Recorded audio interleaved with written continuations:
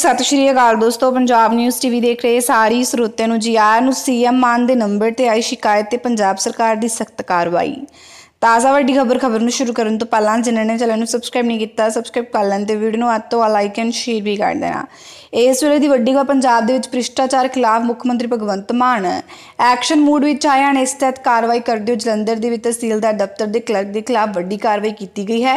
ਰਿਸ਼ਵਤ ਲੈਣ ਦੇ ਮਾਮਲੇ ਦੇ ਵਿੱਚ ਕਲਰਕ ਦੇ ਖਿਲਾਫ ਪਰਚਾ ਦਰਜ ਕੀਤਾ ਗਿਆ ਹੈ। ਮੁੱਖ ਮੰਤਰੀ ਭਗਵੰਤ ਮਾਨ ਨੇ ਟਵੀਟ ਕਰਦੇ ਕਿਹਾ ਕਿ ਮੈਨੂੰ ਐਂਟੀ ਕਾਰਪੋਰੇਸ਼ਨ ਨੰਬਰ ਉੱਪਰ ਜਲੰਧਰ ਦੇ ਕਲਰਕ ਦੇ ਖਿਲਾਫ ਰਿਸ਼ਵਤ ਲੈਣ ਦੀ ਧਮਕੀ ਆਈ ਸੀ। ਜਾਂਚ ਦੀ ਸ਼ਿਕਾਇਤ ਸਹੀ ਪਾਈ ਗਈ। ਅਧਿਕਾਰੀਆਂ ਨੂੰ ਤੁਰੰਤ ਜਾਂਚ ਦੇ ਨਿਰਦੇਸ਼ ਦਿੱਤੇ ਗਏ ਨੇ। ਉਹਨਾਂ ਕਿਹਾ ਕਿ ਰਿਸ਼ਵਤ ਮੰਗਦੇ ਫੜੇ ਗਏ।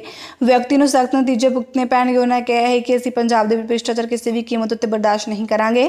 ਦੱਸ ਦਈਏ ਕਿ ਮੁੱਖ ਮੰਤਰੀ ਭਗਵੰਤ ਮਾਨ ਨੇ ਹੈਲਪਲਾਈਨ ਨੰਬਰ ਜਾਰੀ ਕਰਕੇ ਉਸ ਨੇ ਹੈਲਪਲਾਈਨ ਨੰਬਰ ਜ਼ਰੀਏ ਜਲੰਧਰ ਦੇ ਕਲਰਕ ਦੇ ਖਿਲਾਫ ਰਿਸ਼ਵਤ ਲੈਣ ਦੀ ਸ਼ਿਕਾਇਤ, ਆਈ ਸੀ ਸ਼ਿਕਾਇਤਕਰਤਾ ਇਲਜ਼ਾਮ ਲਗਾਇਆ ਹੈ ਕਿ ਕਲਰਕ ਨੇ 4 ਲੱਖ ਰੁਪਏ ਦੀ ਰਿਸ਼ਵਤ ਮੰਗ ਕੇ ਨੌਕਰੀ ਦਿਵਾਉਣ ਦੇ ਨਾਮ ਤੇ ਰਿਸ਼ਵਤ ਲਈ ਜਾ ਰਹੀ ਹੈ। ਹਾਂਜੀ, ਇਸ ਦੇ ਨਾਲ ਇਹ ਖਬਰ ਨੂੰ ਅੰਤ ਤੱਕ ਦੇਖਣ ਲਈ ਤੁਹਾਡਾ